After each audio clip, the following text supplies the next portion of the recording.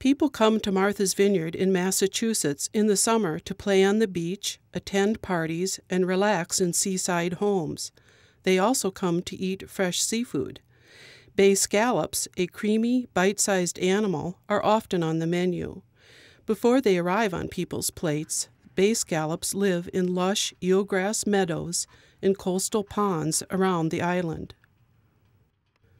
This summer, I discovered something rather scary growing on the eelgrass next to the scallops rubbery animals called sea squirts. Some are brown, others yellow or orange. Though colorful, they aren't very pretty. Kids often call them alien vomit. All this orange business here, and I don't see any other species around here right now. I know from 10 years of research around New England that they like to grow on hard surfaces like rocks, moorings, or boat bottoms. Sea squirts feed on algae and bacteria, using one siphon to suck in water and another siphon to squirt it out, hence their name. They are also called tunicates, a name derived from the firm, rubbery outer layer called a tunic.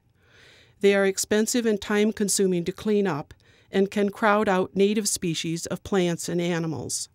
So when I saw them on eelgrass, I grew nervous about what harm they could do to the grass, scallops, and other marine organisms, and I started investigating. Okay, I want you to kind of notice how there really is not a lot of shoreline development in here, that there really aren't very many floating docks at all.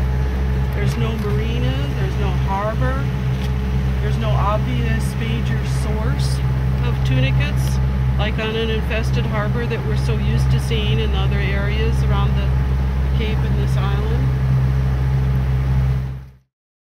Six of nine species of sea squirt living in New England aren't native to the area. They came here from Europe and Asia, and they aren't welcome guests. My goal is to map the spread of sea squirts on Martha's Vineyard. This summer, I gathered a group of volunteers to figure out how much they have spread on the island. Where do you want to start? You want to start over there? I, I guess just kind of in the middle and where it's good to get jump in the water. So far, I found them colonizing eelgrass in two places on the island Sengekontacket Pond and Lake Tashmoo.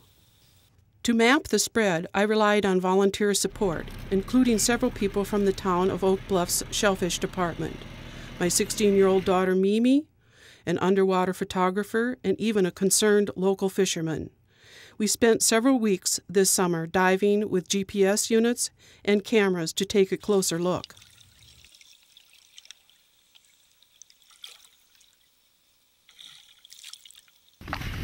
what you see is how the orange violaceus is starting to overgrow that scallop. Oh, yeah. That small juvenile scallop. Yep is attaching to the eelgrass like it should.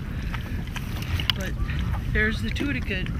Right and it's starting to huh? overgrow the scallop. That's not good. Sea squirts take over new areas in several ways. Some travel from affected areas by clinging to boat bottoms or aquaculture gear. Others go from place to place by clinging to a piece of wood, plastic bottle, or a blade of eelgrass. That presents a tough management challenge. How do we stop every blade of sea squirt coated grass from drifting into a new area? And on Martha's Vineyard, with so many connected waterways, it is easy to imagine how they could move and settle into new areas.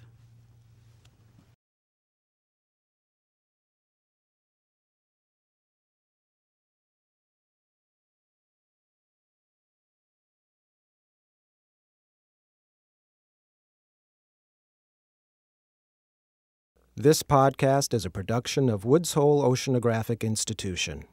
For more information, visit us on the web at www.whoi.edu.